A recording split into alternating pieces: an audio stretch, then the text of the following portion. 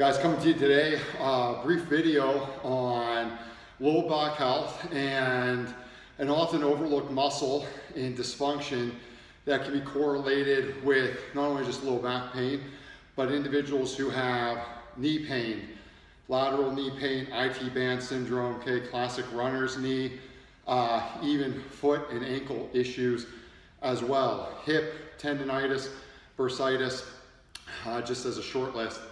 And that muscle is the quadratus lumborum. Oftentimes with the exercises uh, that we do from an abdominal standpoint, we might be targeting this muscle inefficiently or very effectively. Uh, a great way to test how well the muscle's working, but also develop proper function of it while sparing the lumbar spine and the hips and maximizing muscle efficiency is uh, some research that's come from Dr. Stuart McGill, world's foremost expert on spinal biomechanics, has outlined a test for that. And simply put, from a sideline position, you would get into a plank with your top leg in front and simply driving the elbow down. We want to create a lift here so that our spine's nice and straight and our shoulders and hips can get stacked. From there, we're gonna hold that plank position. Okay, we wanna hold a nice spinal alignment. Again, shoulders and hips are stacked. Now, ideally, if we were to test the right side and the left side, there wouldn't be a large discrepancy, okay? Ideally, most people should be able to hold this for a minute per side. Uh, ballpark, want to be able to see about at least 40, 45 seconds in my opinion, side to side. Now, if someone's able to hold, say, one side for a minute, even a minute and a half, and then the other side is closer to 30 seconds, that's a huge asymmetry and that's typically correlated with either chronic back pain or increased incident of some of those conditions that I mentioned earlier. So how do we improve the function of the quadratus lumborum and therefore improving how the spine and the hips work together for stability purposes? As we look from an athletic standpoint, the quadratus lumborum is involved in frontal plane stability, meaning any lateral movement that we perform or if we're in a single leg posture, okay? So, of course, this gets into ground-based locomotives like your uh, running, you're sprinting, jumping, landing, and so forth, but also it's going to play a role in exercises such as lunges, step ups, um, even everyday things like up and down stairs are going to play a role or challenge the frontal plane stability of the hip, and therefore the quadratus lumborum is going to have to be taxed and challenged as well. It's going to be up to the challenger, it's not. So the great thing about the test for the QL is it becomes the exercise as well. We can peel it back um, and use a leg stacked position where now, now the knees are bent, stacked on top of one another rather than straight out. And from this position, we're simply gonna hinge upward, coming onto the knees and the hips come forward.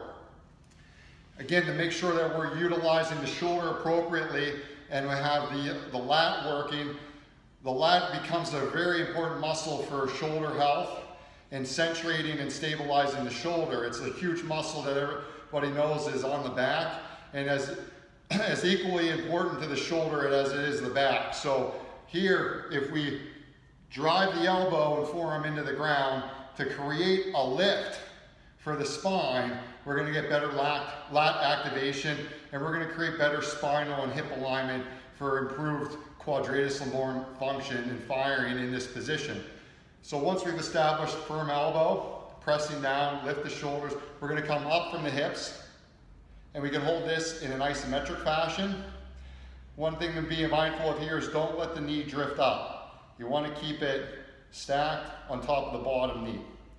Now from there, we can progress outward to the uh, full plank position, legs extended. Again, you want the top leg in front of the bottom leg, not here, here. This is something that Professor McGill has established, and this is going to allow for better hip spinal alignment and to better fire the quadratus lumborum. From there you can do different variations of the plank, be it a plank roll, isometrics, up downs.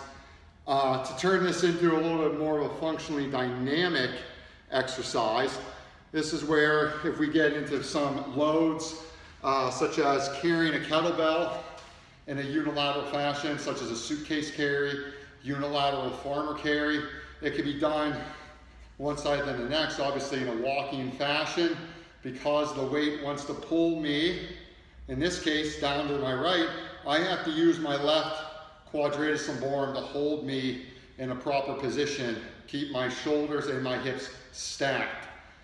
We can also do a rack position carry. You can go into the overhead position as well and carry from there.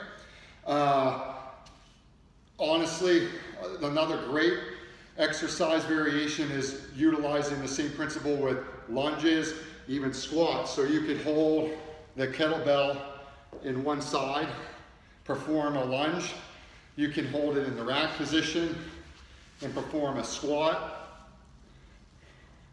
You can also perform deadlifts, uh, more so what they would call a suitcase deadlift. If this, this is a barbell, kettlebell, a dumbbell, typically if you're going to perform from a uh, deadlift position, you might want to take advantage of a barbell and plates. Elevated position may just enable you to keep a better hip and spinal alignment, but you would simply go down and pick.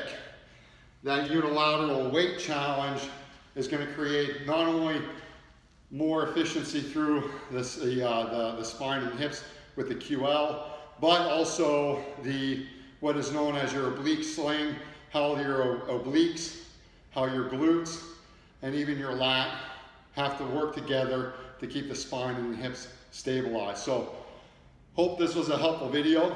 Uh, again, anybody that's dealing with stuff related to uh, running, athletics, fitness, it could be a great uh, change of pace for you to integrate some quadratus lumborum activities. And of course, for those of you that just simply like to pick stuff up and